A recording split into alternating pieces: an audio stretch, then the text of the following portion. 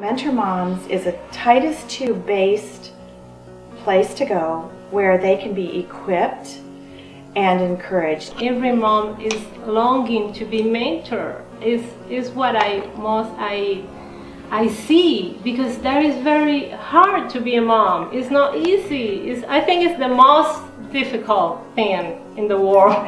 There's never a stage as a woman where you don't need that older woman speaking into your life and I I'm still experiencing that.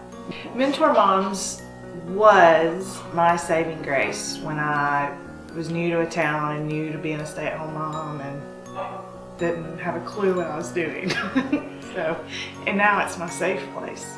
There are very few Bible studies or churches or Sunday school classes or neighborhood groups where you can go from being a complete stranger to being totally embraced in two hours. And when my husband and I chose for me to start staying home, like I was ripped of my identity. Mm-hmm. Like I had no idea what I was doing. I think the common thread is um, having a heart for God and your children and your family. But there are a lot of different backgrounds that we have.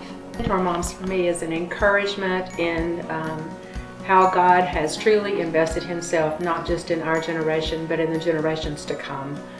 Um, and to see Him working mightily in young families coming up today. We choose women who have modeled not perfection, but seeking after the Lord in their own struggles. And they're, they're the best bunch of women I've ever met.